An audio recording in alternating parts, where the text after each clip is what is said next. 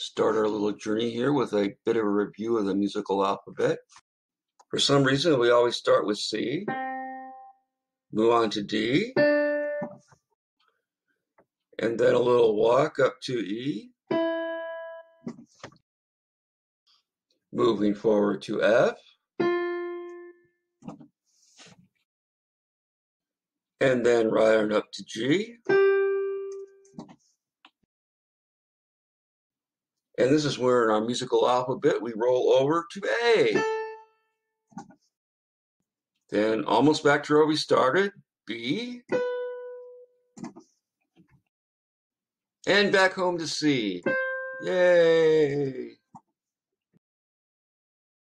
And here we have our holy circle of fifths, starting with C, no sharps or flats. G with one sharp, F sharp. D with two sharps, F sharp and C sharp and A, F sharp, C sharp, G sharp. Moving on to the key of E, F sharp, C sharp, G sharp, D sharp, and then to B with F sharp, C sharp, G sharp, D sharp, and A sharp.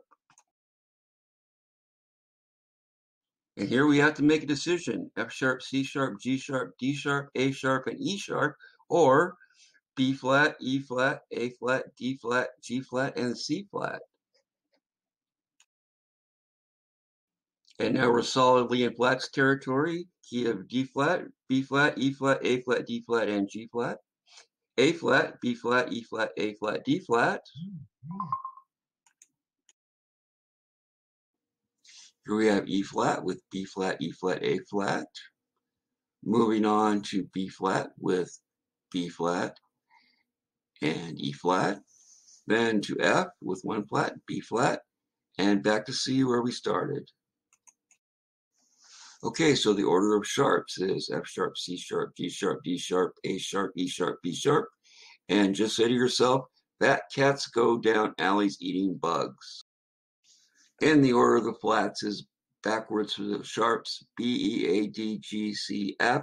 Spells the word bead, and then you'll have to figure out what you want to do for the last three. So that's it for the circle of fifths. Enjoy. You next time.